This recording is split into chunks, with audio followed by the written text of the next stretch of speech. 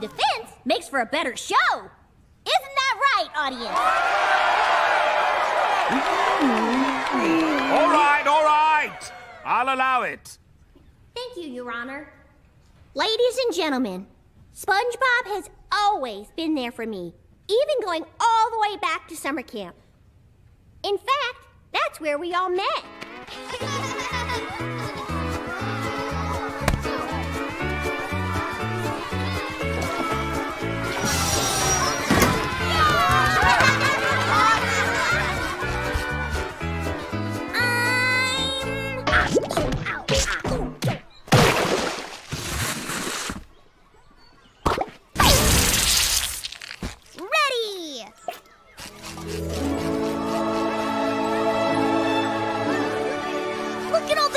activities!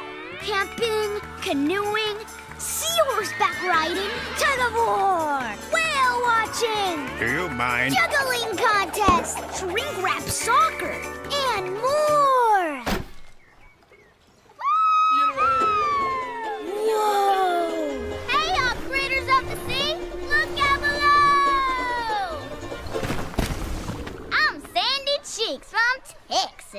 Sandy.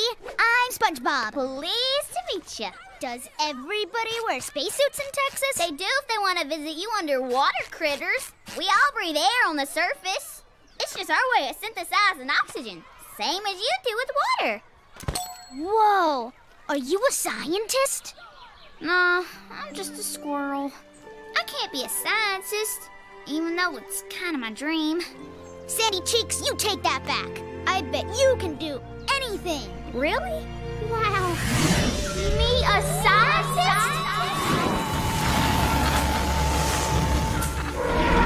Science. You're a hoot, little dude. I'd be just as likely to live down here in a glass dome with a tree in it. Ha ha. You never know. Yeah.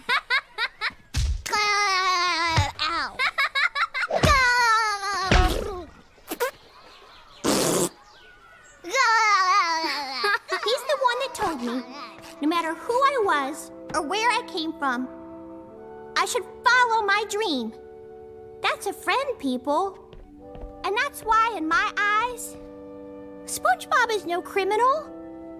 He's the best little fella to ever walk the sea bottom, and that's that's just how I feel about it. So, please, don't hurt him.